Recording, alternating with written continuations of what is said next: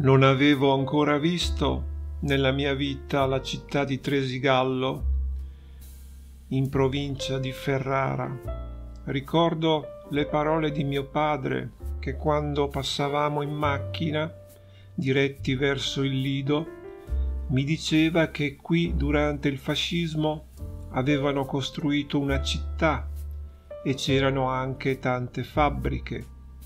Lui era nato nel 24 e all'epoca aveva 12 anni.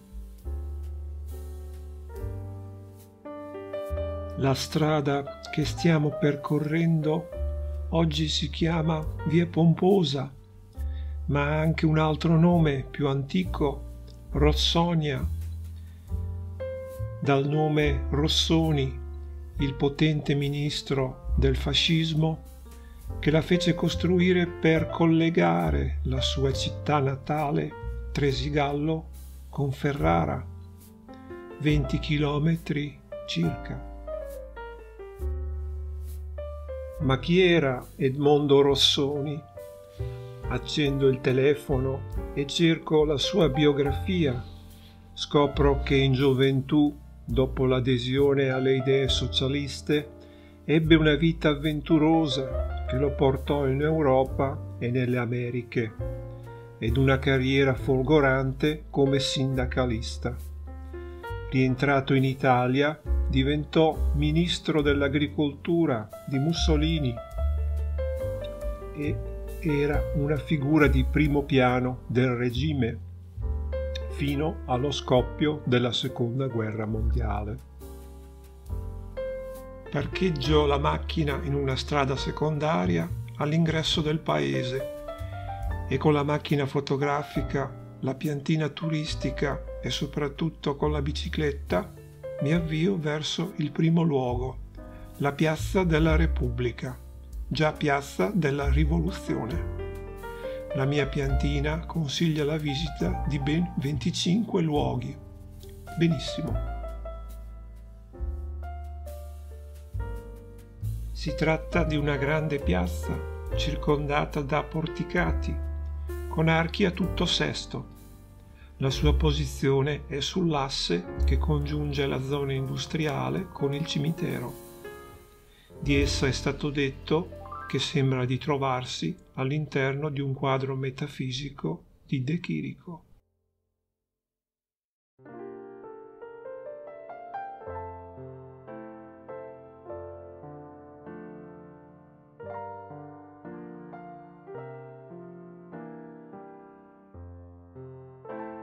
Il paragone può reggere, in effetti manca solamente la musa inquietante o il grande metafisico.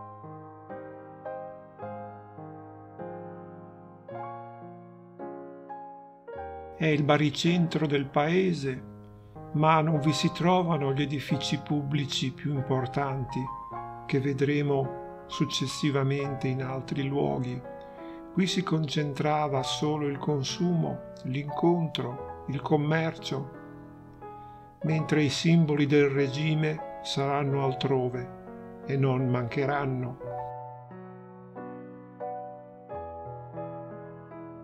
Al centro la bella fontana con quattro sculture in bronzo che raffigurano le gazzelle.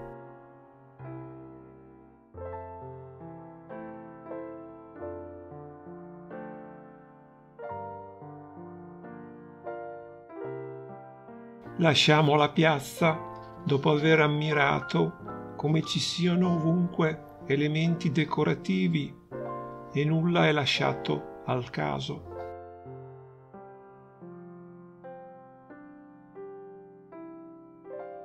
Entriamo quindi in Viale Roma, il cui nome è molto significativo.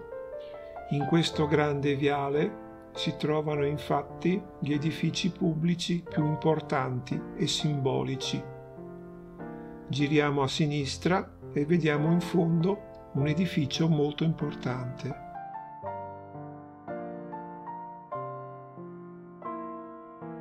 Si tratta della casa del Balilla e poi casa della GIL, Gioventù Italiana del Littorio luogo di formazione fisica e ideologica dei giovani, dotato anche di una grande palestra. Immagino che la gioventù fascista in certe occasioni uscisse da questo edificio e in marcia facesse la sfilata su Viale Roma, sotto gli occhi delle autorità e della popolazione.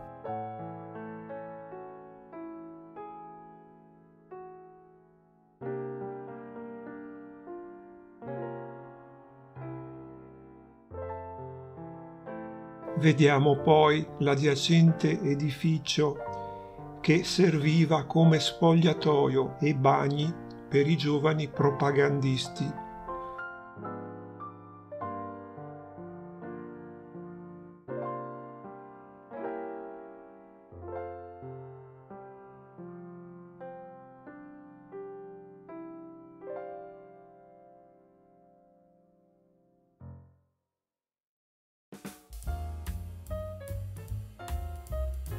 giro la bicicletta e percorro anche io il viale Roma, sorta di piccolo viale dei fori imperiali, fino alla casa del fascio.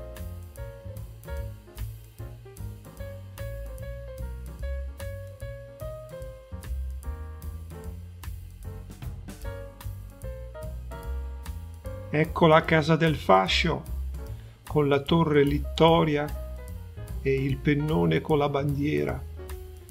Vediamo anche l'immancabile balcone dal quale il Rossoni avrà sicuramente parlato al suo popolo.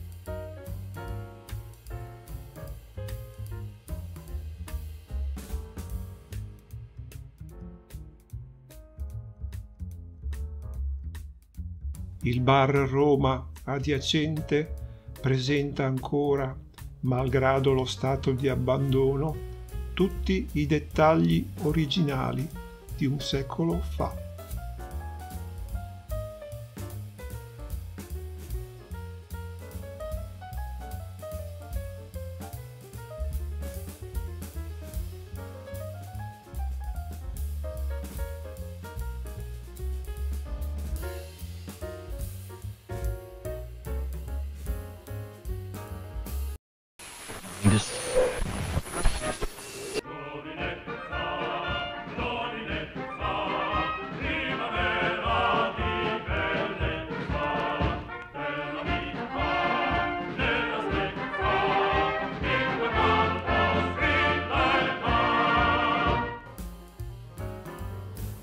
All'altra estremità del viale Roma troviamo l'asilo per l'infanzia, sulla cui facciata si trovano altri simboli del regime.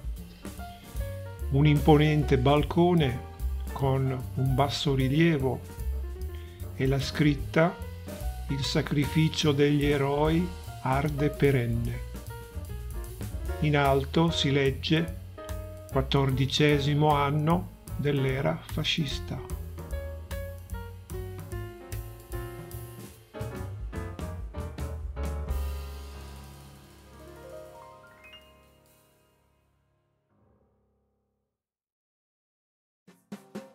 Accanto all'asilo vediamo la chiesa di Sant'Apollinare con il suo porticato la chiesa era stata fondata nell'anno 1000 ed era preesistente, ma i progettisti non mancano di rivestirla di travertino romano, che è il materiale da costruzione usato in tutta la città. Vi è inoltre un grazioso porticato che ha un impianto curvilineo e si prolunga su via Verdi.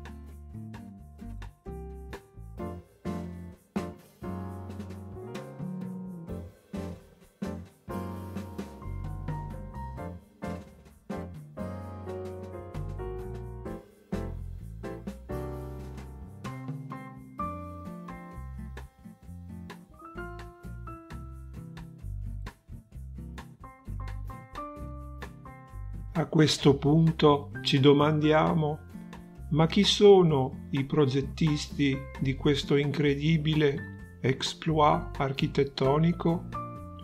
Forse si tratta di Piacentini o Libera o Pagano? No, si tratta di un gruppo di artisti, geometri, ingegneri, assolutamente sconosciuti, anche locali, coordinati dal Rossoni. Non vi è nemmeno un architetto.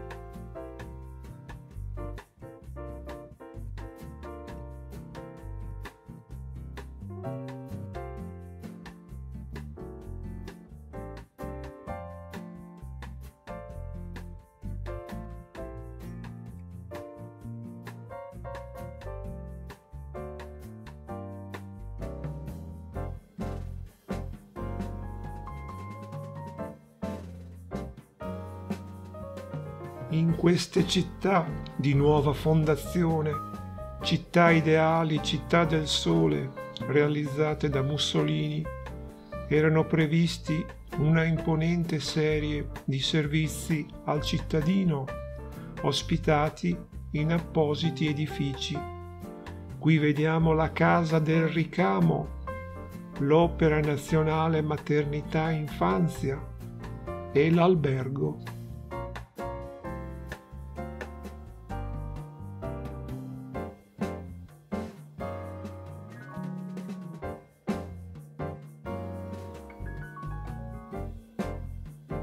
Il motivo architettonico ricorrente è costituito da un volume semicircolare che sporge in facciata, spesso accompagnato da pensiline a sbalzo. Il razionalismo italiano è anche questo.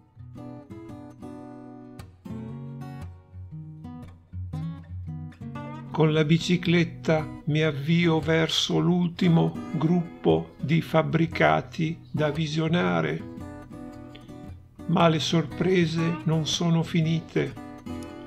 Vedremo in questo piccolo piazzale una serie di edifici veramente interessanti.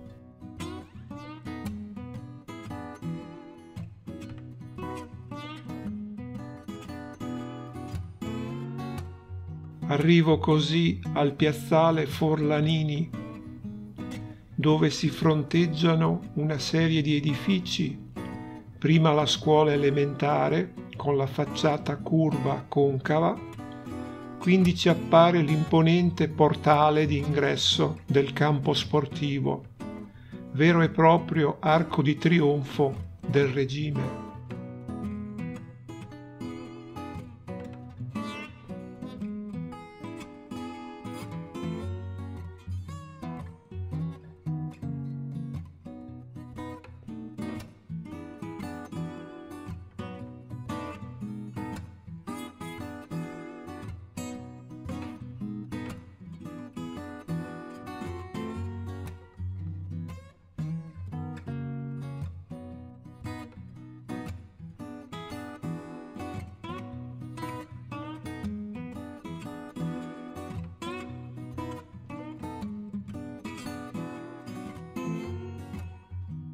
L'edificio Domus Tua, con l'imponente torre, serviva come luogo ricreativo per l'operaio fascista corporativo creato da Rossoni.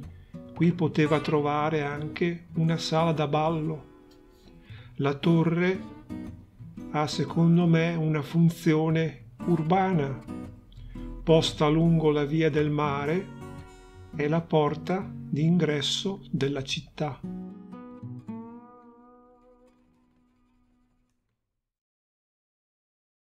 Per ultimo vediamo l'ospedale, la colonia post-sanatoriale, come si chiamava, con il suo grande parco. Non poteva mancare il momento della cura dell'uomo che viene seguito e assistito in tutti i suoi momenti della vita, dalla nascita alla morte.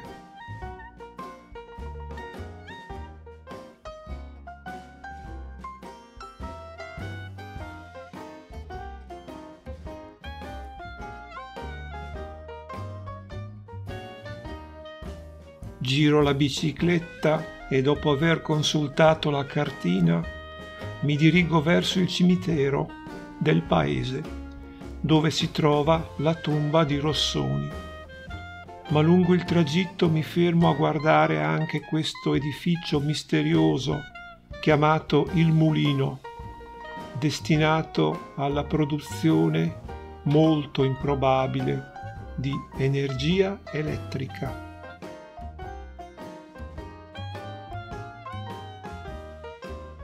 Esco dal paese dopo aver pedalato per circa un chilometro, prendo un viale alberato di cipressi che conduce al cimitero.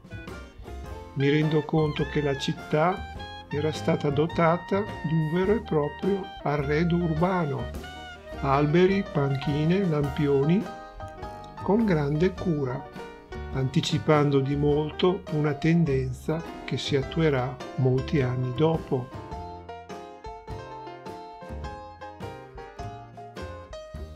Il portale di ingresso è bellissimo e di grande impatto visivo, da apprezzare anche il disegno delle cancellate.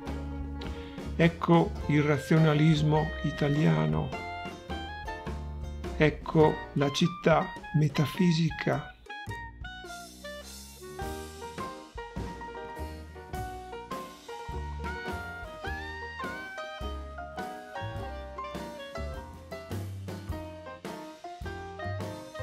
Metto la bicicletta nella rastrelliera. La tomba di Edoardo Rossoni si trova subito vicino all'ingresso. Si vede in lontananza un enorme braciere in pietra altissimo.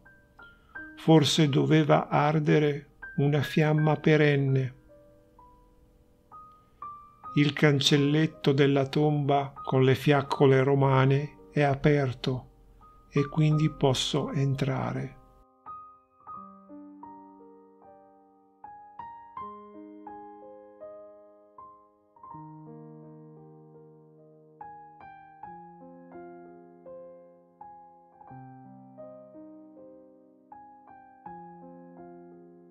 Mi raccolgo un attimo con un eterno riposo, poi esco ad osservare una grande scultura sulla facciata della chiesetta e lo vedo finalmente, eccolo, l'uomo angelo che sta per salire al cielo, oppure è caduto sulla città, non lo so. Lascio a voi la scelta fra le due possibilità.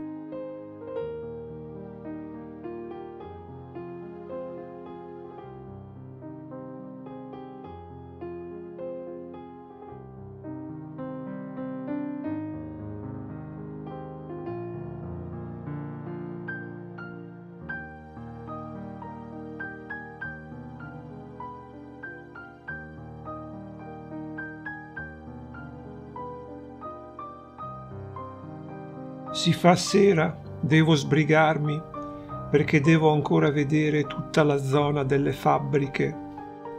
Infatti a Tresigallo, in quegli anni, Rossoni fa costruire una decina di fabbriche e si ebbe così uno sviluppo economico ed occupazionale senza precedenti. Tutti a Tresigallo avevano un lavoro. Il Consorzio Agrario per la lavorazione di frutta e ortaggi nel 1936, il Consorzio Produttori Canapa, la Siari, Società di Incremento Agricolo e Rinnovamento Industriale per la lavorazione del latte, la SAAT, per la lavorazione di prodotti di allevamento, la INTA per la lavorazione della lana artificiale, la Celna costruita tra il 36 e il 39 per la lavorazione della cellulosa, in realtà non entrò mai in funzione per lo scoppio della seconda guerra mondiale.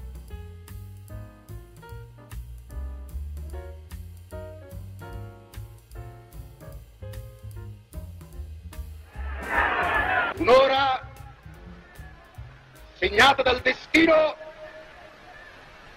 batte il cielo della nostra patria.